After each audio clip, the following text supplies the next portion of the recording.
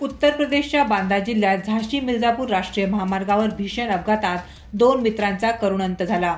दोघे बँकेतून ड्युटी करून घरी परतत होते. त्यावेळी एका अनियंत्रित ट्रकनं दोघांना चिरडलं. अपघाताची माहिती मिळताच पोलीस घटनास्थळी पोहोचले. त्यांनी दोघांना रुग्णालयात दाखल केलं. मात्र डॉक्टरांनी त्यांना मृत घोषित केलं.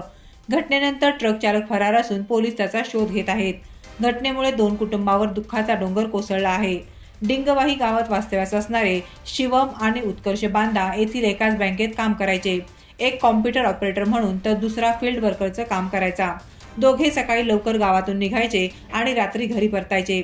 शुक्रवारी रात्री घरी परतत असताना राष्ट्रीय महामार्गावर त्यांना एका ट्रकनं चिरडलं.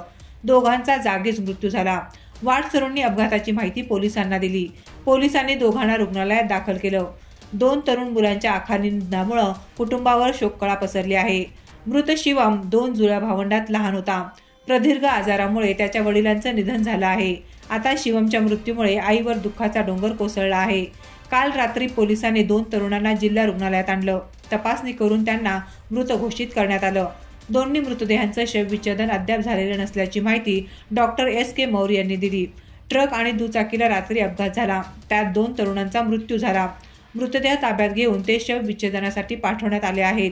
पुढील कार्यवाही सुरू आहे असं D C P Ambuja Trivedi यांनी सांगितलं.